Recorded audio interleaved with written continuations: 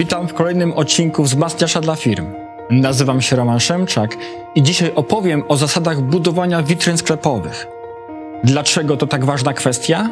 Bo witryna to pierwszy punkt kontaktu klienta z Twoją ofertą. To właśnie ona wyróżnia Cię wśród innych firm. Towary i usługi prezentuje bezpośrednio i ma jeszcze tę zaletę, że można dowolnie zmieniać jej aranżację w zależności od aktualnych trendów, promocji czy wyprzedaży. Czy wiesz, że klienci skupiają wzrok na witrynie tylko od 3 do 8 sekund? A około 75% z tych, którzy po raz pierwszy odwiedzają dany punkt handlowy, zapamiętuje właśnie to, co znajduje się przy jego wejściu. To jasny sygnał, że do tematu witryny trzeba podejść profesjonalnie, bo im więcej osób zwróci na nią uwagę, tym więcej zrobi zakupy właśnie u Ciebie. Oto kilka zasad budowania witryn sklepowych. Zasada identyfikacji. Fasada, witryna, oznaczenia zewnętrzne powinny wypływać ze strategii firmy i informować klientów, czym firma się zajmuje, jaki ma profil, co ją wyróżnia i co ciekawego może zaoferować. Dlatego ważnym elementem jest dobrze widoczne logo oraz nazwa firmy, a także promocje czy typowe dla nas produkty. Zasada tła.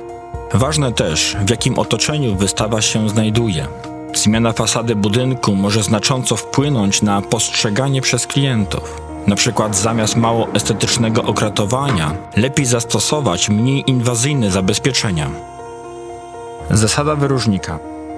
Jest wiele firm podobnych do Twojej, więc warto zastanowić się, dlaczego właśnie na Twoją witrynę klient powinien zwrócić uwagę. Możesz wyróżnić się oryginalnością, np. narzędziami wspierającymi sprzedaż, towarem czy ekspozycją.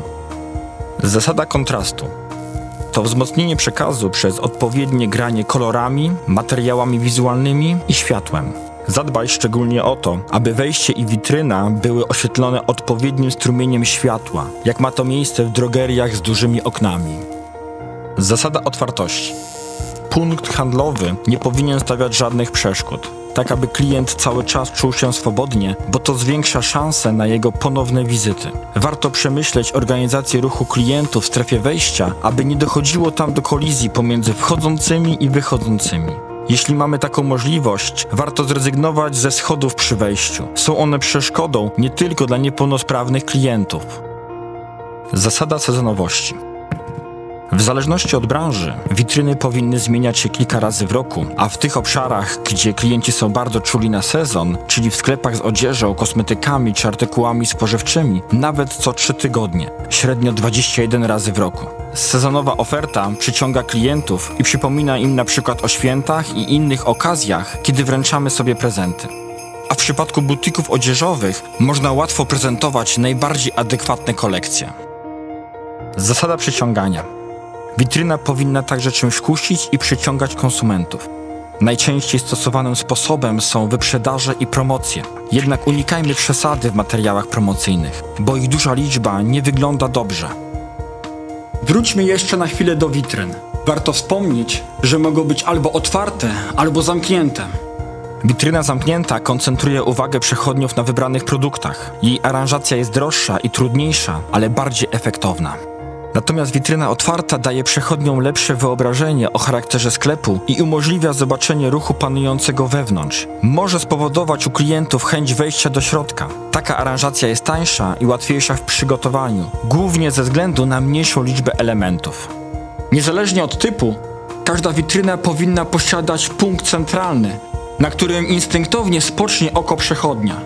Najlepiej umieścić go nieco poniżej poziomu wzroku i w pewnym oddaleniu od środka kompozycji. Dzięki temu spojrzenie będzie wędrowało dookoła witryny, obejmując inne umieszczone na niej produkty. Niezwykle istotna jest również równowaga optyczna. W skrócie chodzi o to, by wchodzące w skład witryny produkty sprawiały wrażenie posiadających ten sam ciężar, więc grupuje się je w określony sposób.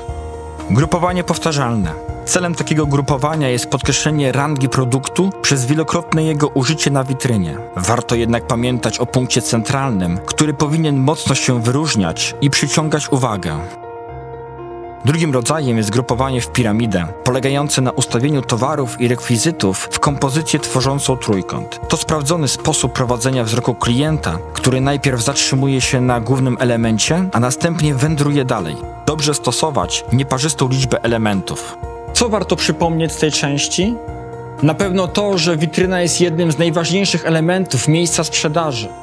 Dlatego należy pamiętać o zasadzie identyfikacji, zasadzie tła, zasadzie wyróżnika, zasadzie kontrastu, otwartości, sezonowości oraz przyciągania.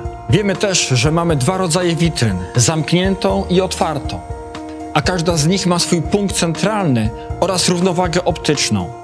Produkty zaś powinny być pogrupowane powtarzalnie lub w piramidę.